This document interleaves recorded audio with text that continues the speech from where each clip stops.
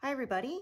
Um, I had someone ask to uh, see my working tray a little uh, closer up as I've mentioned it quite a lot in my Stitch With Me videos.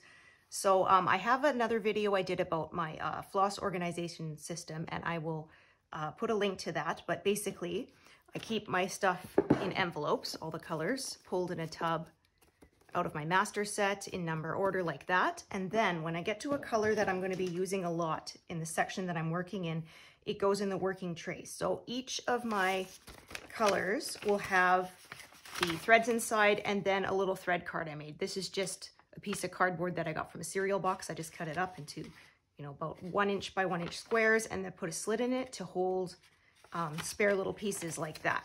So when I decide to pull a color and use it in my working tray, I take out the little thread card and the thread that I'm going to need and I put it into one of these slots.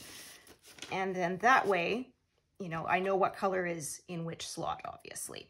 Um, I don't always put them in number order because sometimes the colors are very close together. So this is 827 here, and this is 828. Obviously, nothing's going to go between that. But because you can see that these two colors are extremely similar in shade, it would be easy to mix them up. So I like to split them apart a bit on the tray so that I don't accidentally put the piece back into the wrong place, use it incorrectly. So any pieces that are full pieces are not hooked onto the card. They're just kept separate like this.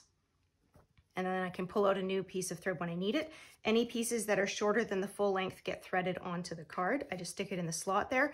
And then that way I can see all the different lengths and decide exactly what I need and just pull one out and use it then. So I just like to put my thumb on the top of the all the threads here and say I wanted one of the shortest ones.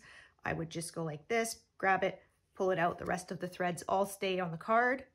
And uh, yeah, it helps keep me from having to sort through tons of little threads because before I use this, I would just stick it back in there and then sometimes you'd end up with like half a dozen different lengths and you'd have to pull them all out and compare them. So I find this just keeps it a little neater, makes it a little easier to see exactly what length the thread is. So if you only need for say two stitches or if you need one for say eight stitches, you'll need a piece that's slightly longer, that kind of thing.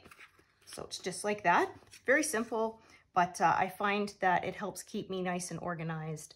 And uh, that way I'm not wasting any little leftover pieces. They also stay sort of nicely, you know, organized that way and they're easy to pull exactly what I need when I need it. And then of course, once I move to a new section, if a color is no longer going to be used a lot in that section, then I just pick all of this up, put it back in the envelope, put it back in my tub, and replace it with a new color that I'm going to be using a lot in that area. So I hope that that helps make it clear. Um, if not, please uh, ask any questions you have in the comments and I'll do my best to answer them. All right, thanks for watching everyone.